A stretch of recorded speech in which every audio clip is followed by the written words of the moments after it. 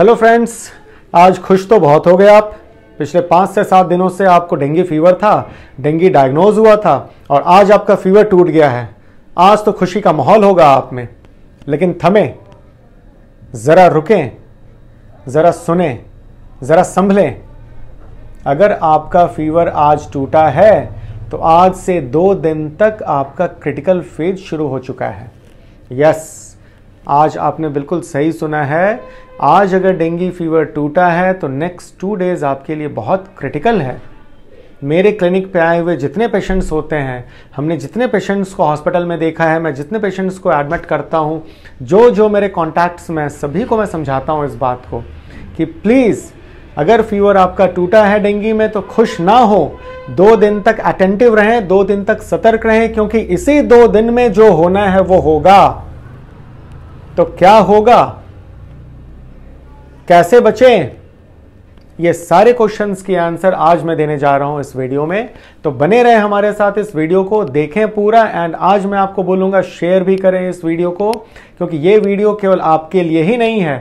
आपके परिजनों के लिए भी है, आपके दोस्त, आपके महिम के लिए भी है, आपके बॉस आपके गुरुओं के लिए भी है, आपके सोसाइटी के लिए है, या पूरे नेशन के लिए है।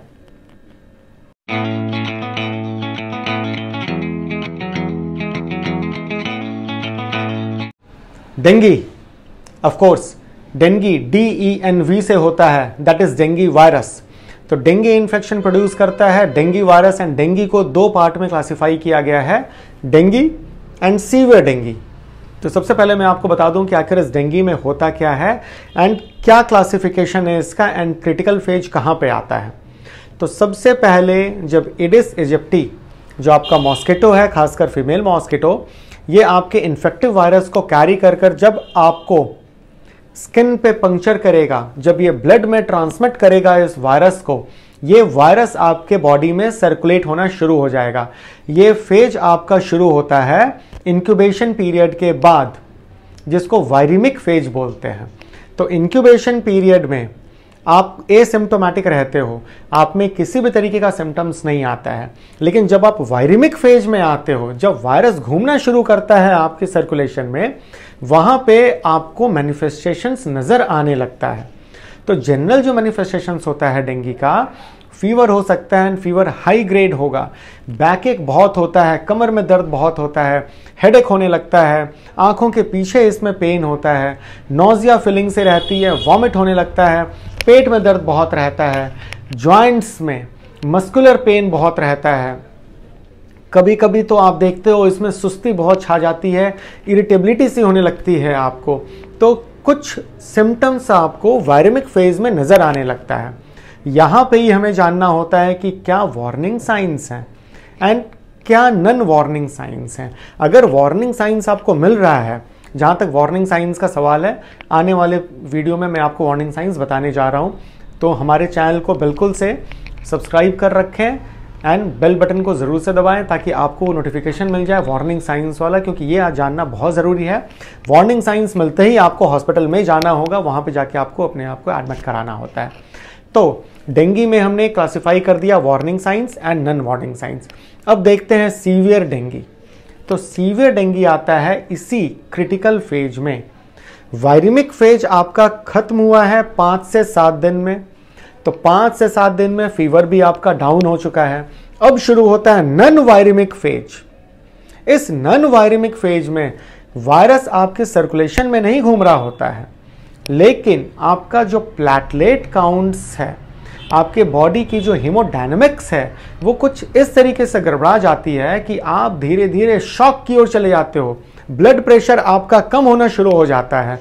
तो यहाँ पे आता है critical phase and critical phase generally last करता है टू डेज़ अगर आप शुरुआत के दो दिन अटेंटिव हो तो आप आराम से निकल जाओगे इस फ़ेज़ से। लेकिन अगर आप अटेंटिव नहीं हो, आप खुशियाँ मनाने जा चुके हो, आप मॉल घूम रहे हो, खाने पीने जा चुके हो रेस्टोरेंट में जाना शुरू कर दिए हो तो कहीं ना कहीं आपका हीमोडाइनमिक्स गड़बड़ाएगा एंड आप गिर जाओगे इसी क्रिटिकल फ़ेज़ में एंड मैनिफेस्ट हो जाएगा सीवियर डेंगी इसलिए मैंने आपको पहले भी बोला था कि ज़्यादा खुश ना हो, दो दिन इंतज़ार करें, दो दिन फेब्राइल होने के बाद आप चाहें कहीं भी घूमें, आपको कुछ नहीं होने जा रहा है। तो क्रिटिकल फ़ेज़ में जनरली दो बातों को ध्यान में रखा जाता है। पहला प्लेटलेट से रिलेटेड एंड दूसरा ब्लड प्रेशर से रिलेटेड धीरे धीरे धीरे क्रिटिकल फ़ेज़ में प्लेटलेट का डिप होना शुरू हो जाता है वो डाउन होने शुरू हो जाएगा। 80,000 60,000 40,000 20,000 10,000 इवन 1,000 भी हो सकता है। एंड आप देखते हो ऐसे कंडीशन में म्यूकोजल ब्लीडिंग शुरू हो जाती है।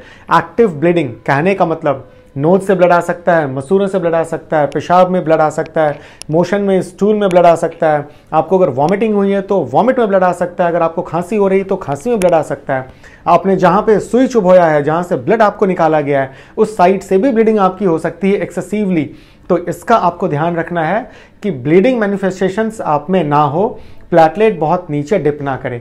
जो दूसरी बात है, मैंने आपको बोला blood pressure yes blood pressure को भी आपको मॉनिटर करना बहुत ज़रूरी है, क्योंकि धीरे धीरे आप डेंगी शॉक सिंड्रोम में जा सकते हो, जहाँ पे ब्लड प्रेशर आपका बहुत कम हो सकता है। हाइपोटेंशन में आप जा सकते हो एंड प्रेशर मॉनिटर करना बहुत ज़रूरी हो जाता है ऐसे कंडीशन में। इसलिए मैंने आपको बोला, सतर्क रहें, सुरक्षित रहें।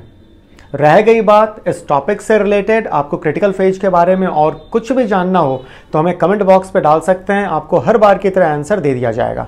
Thank you